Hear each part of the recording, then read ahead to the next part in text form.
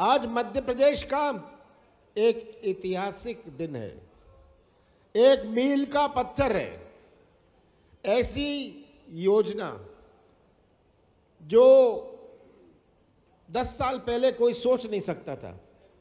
किसी ने सोचा नहीं था कि मेट्रो भी हमारे मध्य प्रदेश में आएगी, इंदौर और भोपाल आएगी।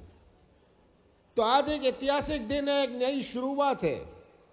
मध्य प्रदेश की इस विकास यात्रा में। पर मेरे लिए भी एक स्वप्न सहकार हो रहा है। इसका इतिहास मैं बताना चाहता हूँ।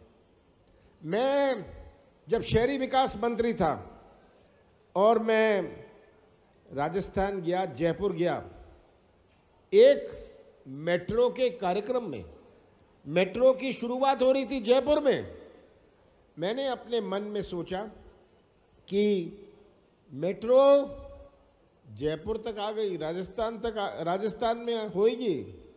हमारे मध्य प्रदेश में इसका कोई नाम निशान नहीं। मैंने दिल्ली वापस आकर मैं शहरी विकास मंत्री था मैंने जो राज्य के शहरी विकास मंत्री थे बाबूलाल गौर जी उनको फ़ोन किया। मैंने कहा कि आप डीपीआर बनाना शुरू करिए, भोपाल की और इंदौर की। और हम मेट्रो भोपाल और इंदौर में लाएँगे। उन्होंने कहा, ये डीपीआर में तो डीपीआर में तो बहुत खर्चा लगता है। बहुत खर्चा लगता है। ये खर्चा कहाँ से आएगा डीपीआर बनाने का? ये बात तो सही है कि डीपीआर बनाने में काफ़ी खर्चा लगता है। तो मैंने कहा, ये डीपीआर का खर्चा केंद्र सरकार आपको देगी, आप डीपीआर बनाना शुरू करिए। लगभग डीपीआर बन गई थी, पर दबी हुई थी, फाइलों में दबी गई, हुई थी। पिछले कुछ महीनों में मैंने जयवर्धन सिंह जी को कहा कि इसकी हम टाइमलाइन बनाएँ, सीमा बनाएँ प्रोग्राम बनाएँ, कि ये कब तक हम इसकी शुरुआत कर पाएँगे। इस पर हमने कई मीटिंग करी, विचार विमर्श किया, मेट्रो कहाँ आएगी, कहाँ जाएगी, कितनी बड़ी होगी, कहाँ से पैसा आएगा, और इसकी शुरुआत कब हो जब दिल्ली में मेट्रो बन रही थी, जिसका पहला फ़ेज़ था, आज तो तीसरा फ़ेज़ भी कंप्लीट होने जा रहा है। उस समय प्रश्न था कि हम गाजियाबाद को जोड़ें, गुड़गांव को जोड़ें, फरीदाबाद को जोड़ें। और उस समय मैंने तय किया था कि वो तो हम जोड़ते रहेंगे, हम शुरुआत तो करें। इस चक्कर में हम पड़ जाएँगे कि हम यहाँ उलझे रह जाएँगे। इसमें उलझ गए कि यहाँ से जाए, वहाँ से जाए। मैं उलझना नहीं चाहता हूँ। मैं चाहता हूँ कि इसकी शुरुआत होए। तो आज मेट्रो का जो शिलान्यास हुआ है इंदौर में ये एक नया इतिहास मध्य प्रदेश में बनने जा रहा है। मुझसे मुझसे मुझसे किसी ने पूछा कि क्या मेट्रो की आवश्यकता है? मैं बताता हूँ क्या आवश्यकता है। आज जिस प्रकार की वृद्धि हो रही है, जिस प्रकार की हमारी आबादी बढ़ रही है, जनसंख्या बढ़ रही है इंदौर में, भोपाल में हमारा इंदौर को हम कैसे बचाएँ? इंदौर को हम कैसा एक सुंदर शहर बना के रखें? इंदौर की जो जनसंख्या है, हर शहर की एक ढोने की क्षमता होती है, जिसको कहते हैं कैरिंग कैपेसिटी इंदौर की कैरिंग कैपेसिटी खत्म हो रही है। तो प्रश्न था कि क्या करें इंदौर की? मास्टर प्लान की बात हुई। मैंने शुरू में कहा कि भोपाल को, इंदौर को हमें इसे फैलाना पड़ेगा। आप सब दिल्ली गए। सोचिए, अगर नोएडा नहीं बना होता, गुड़गांव नहीं बना होता, दिल्ली का क्या हाल होता? तो दिल्ली को फैलाया गया। मुंबई में क्या किया? नवी बंबई बनाया। थाना को बढ़ाया। थाना में ऐसी योजनाएँ लाए, जहाँ जो बंबई के बीच में थे, कोई नवी बंबई चला गया, कोई थाना चला गया। मुंबई का फैलाव हुआ। तो आज हमें भविष्य का सोचना है। पाँच साल बाद का कैसा हम इंदौर चाहते हैं? पाँच साल बाद हम कैसा भोपाल चाहते हैं? दस साल बाद का कैसा इंदौर और भोपाल चाहते हैं? हम चाहेंगे कि हम फैलाएँ। पर जो आज की इसकी ढोने की कैपेसिटी है, इसको हमें सुरक्षित रखना है। ये ढोने की कैपेसिटी बढ़ नहीं सकती, हमारी पानी की बात हो नाली की बात हो सड़क की बात हो पार्किंग की बात हो ट्रैफ़िक की बात हो इसके लिए मेट्रो की आवश्यकता है।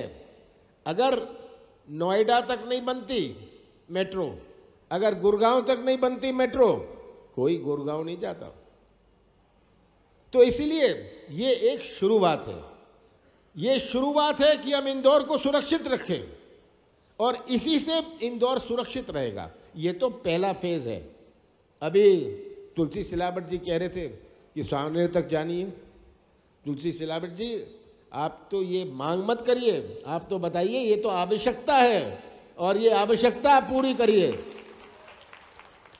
ये आवश्यकता ज़रूर पूरी की जाएगी। ये आवश्यकता इसीलिए है कि हम कितनी दूर उज्जैन तक ले जाएँ। सामने तो थोड़ा आगे आएगा, पर हमें तो उज्जैन तक का जैसे जयवर्धन सिंह कह रहे थे, हम उज्जैन तक ले जाएँ, पीतमपुरा तक ले जाएँ। ये आवश्यकता पड़ेगी, तभी हम इंदौर को सुरक्षित रख पाएँगे। अगर पीतमपुर के लिए, अगर सावनेर तक में हमारी मेट्रो जाती है तो जो बोझ है, जो इंदौर का बोझ है, ये बोझ भी फैलेगा। ये इस दृष्टि से हमें देखना है। और मुझे पूरा विश्वास है कि आज ये ज़िम्मेदारी केवल गवर्नमेंट की नहीं है। हमें भी अपने आप एक नई सोच लेनी लानी पड़ेगी कि हम ये ना कहें हम केवल इंदौर में रहना चाहते हैं।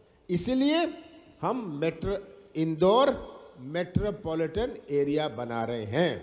मेट्रोपॉलिटन एरिया जिसमें अन्य केवल इंदौर नगर निगम ही नहीं, नगर निगम एरिया ही नहीं, पर उसमें राव भी जुड़ेगा, उसमें दिवास का का कुछ हिस्सा जुड़ सकता है, उसमें धार का कुछ हिस्सा जुड़ सकता है, पर वहाँ की आवागमन की आवागमन की सुविधा तो होए, वहाँ स्कूल होए, वहाँ अस्पताल हुए। जब नोएडा का निर्माण हो रहा था, मैं उस समय युवक कांग्रेस में था। आप में से जो नोएडा गए हैं, वहाँ जो आप वृक्षारोपण देखते हैं, वो वृक्षारोपण मैंने अपने हाथ से किया था। इसलिए नोएडा बन पाया। वहाँ बैंक नहीं था, सड़क नहीं थी स्कूल नहीं था, अस्पताल नहीं था। तो शुरुआत करी आवागमन। शुरुआत करी कि स्कूल बने। तब लोग नोएडा शिफ्ट करने लग गए। गुड़गांव में यही हुआ। पहले वहाँ की बुनियादी सुविधाएँ हमें बनानी पड़ेंगी। तो एक नए नज़रिए से हमें देखना है। अपने शहरों को हमें एक नए नज़रिए से देखना है कि हम अपने प्रदेश को एक सुंदर प्रदेश, इस विकासशील प्रदेश हम बना पाए। ये हमारी मंशा है। तो metropolitan area Indore metropolitan area बनाएँगे हम। इसकी हमने योजना बना ली है। भोपाल मेट्रोपॉलिटन एरिया बनाएँगे। ये सब जब जुड़ जाएगा, ताकि इंदौर का बोझ कम होए। तो मैं ज़्यादा ना बोलते हुए आपसे यही कहना चाहता हूँ, इसमें समाज का भी बड़ा योगदान रहेगा। आपको अपनी सोच में भी परिवर्तन लाना पड़ेगा। ये ज़िम्मेदारी केवल सरकार की नहीं है, समाज की है। हमारे व्यापारियों की है, हमारे उद्योगपतियों की ज़िम्मेदारी है कि सब कहें कि हम इंदौर में केवल यहीं रहेंगे। मैं तो ये चाहूँगा कि जैसे ही हमारा मेट्रोपॉलिटन एरिया होए गवर्नमेंट भी अपने जो बड़े बड़े ऑफ़िस हैं, इनको बाहर भेजें। ये बाहर भेजें बड़े बड़े ऑफ़िस जो बनाए हुए हैं। भोपाल में जो बड़े बड़े ऑफ़िस हैं, सरकारी, शासकीय ऑफ़िस हैं, इनको थोड़ा बाहर भेजें ताकि वो एक मैग्नेट बने। वो एक मैग्नेट बनेंगे। ये हमारी सोच है। और मुझे पूरा विश्व इस बात की पूरी उम्मीद है कि आपका विश्वास हमारे सरकार के प्रति, मेरे प्रति बना रहे।